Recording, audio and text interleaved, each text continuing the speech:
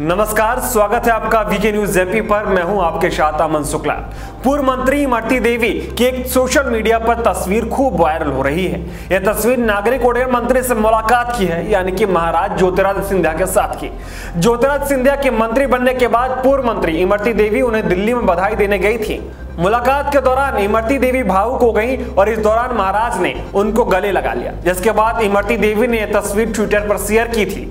और तभी से कांग्रेस के नेता उन्हें ट्रोल कर रहे थे। हालात तो ये हो गए थे कि ट्रोलर के निशाने पर आने के बाद इमरती देवी ने उस तस्वीर को सोशल मीडिया से हटा दिया था। लेकिन इमरती इतनी भी सहज नहीं थी कि वो ट्विटर से अपनी फ़ोटो हटा दें और ट्रोल करने वाले कांग्रेसियों को कोई जवाब न दें। इमरती ने कांग्रेसियों की बोलती बंद करते हुए कहा कि जो लोग फ़ोटो को लेकर आलोचना कर रहे हैं, उन्हें भावनाओं की पहचान नहीं है।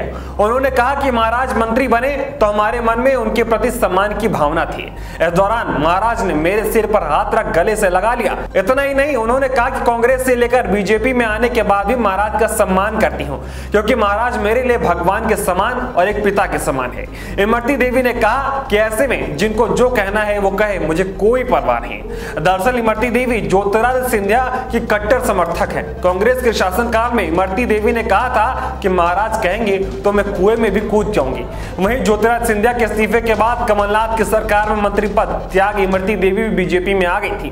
बीजेपी में भी इमरती देवी मंत्री बनी, लेकिन उपचुनाव में वो हार गई थी। फ़िलहाल, जब कांग्रेस के नेता और पूर्व मुख्यमंत्री कमलनाथ ही इमरती देवी को आइटम कह सकते हैं तो फिर इसी बात को लेकर कांग्रेस के छोटे नेताओं की मानसिकता का अंदाज़ा लगाया जा सकता है।